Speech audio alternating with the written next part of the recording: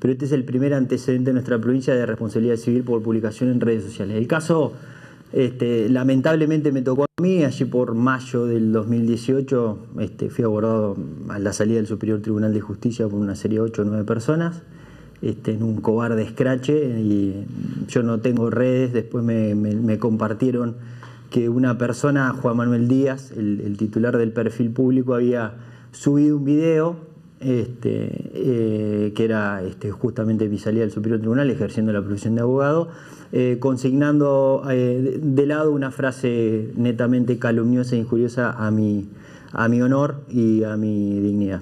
Este, rápidamente, que era un poco lo que decía Federico recién, yo no bajo ningún prisma voy a tolerar este, que se mancille mi, buen nombre y honor, menos este, aún de manera gratuita, así que lo que hice fue una constatación notarial de, ese video, de esa publicación, tenía por entonces 301 reproducciones este, y rápidamente en derecho propio inicié una demanda de daños y perjuicios. Lo intimé a que quite la publicación, no lo hizo, guardó silencio eh, y pedí una indemnización de mil pesos por cada reproducción. Tras un largo proceso, produje prueba y demás, se dictó una medida cautelar. En medio del proceso, el juez ordenó al demandado Díaz que quite la publicación calumniosa e injuriosa, que a ocho meses de juicio seguía aún todavía posteada en su perfil público de Facebook.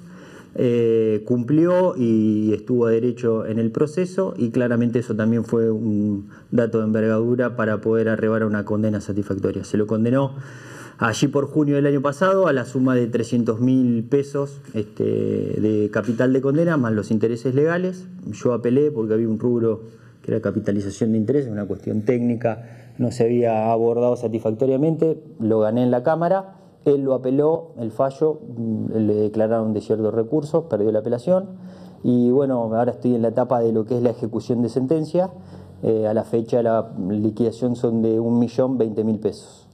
Lo que salió días atrás es una condena en especie. Yo pedí una condena eh, pecuniaria, indemnizatoria, y una condena en especie, que es algo que contempla nuestro Código Civil y Comercial eh, a partir del 2015, que es la condena en especie, que es la publicación de la sentencia este, en, lo pedí en los dos medios de mayor difusión en la zona, el diario Chubut y Jornada, eh, gráficos, y eso fue lo que se hizo a costa del demandado. O sea, eso el demandado no lo ejecutó, lo hice yo a costa de él, así que también estoy repitiendo el gasto incurrido por esa publicación. Gran parte de la gente se ha sentido representada en mayor o menor medida, porque a alguno, en más o en menos, le ha pasado, lamentablemente. Eh, lo que hay que hacer rápidamente es una constatación notarial. Ir a un escribano y constatar notarialmente. ¿Qué es con el, teléfono? Sí, con el teléfono. sí, el este, escribano toma nota. El escribano entra de su computadora, entra en el perfil público, si es en Facebook. Lo he hecho, tengo clientes este, eh, con casos similares que lo hemos hecho en Twitter. Hemos logrado quitar las publicaciones este, y ahora estamos con las acciones de daño y perjuicio.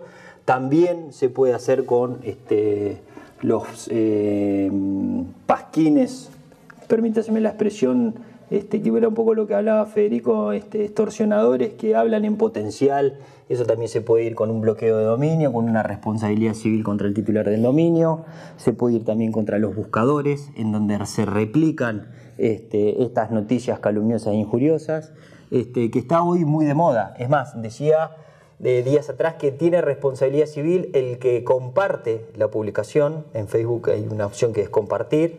Este, ese también tiene responsabilidad civil. Y tiene responsabilidad civil, algo que ustedes lo pueden ver como, como este, periodista siempre, es en una nota este, en el diario digital, abajo la gente escribe y comenta muchísimas cosas. Eso también genera responsabilidad civil. Aquel que comenta indicando de respectiva persona que es la indicada en la nota y demás, y que eh, hace alusiones a a frases calumniosas e injuriosas, eso también se puede constatar notarialmente, previa intimación y también genera responsabilidad civil.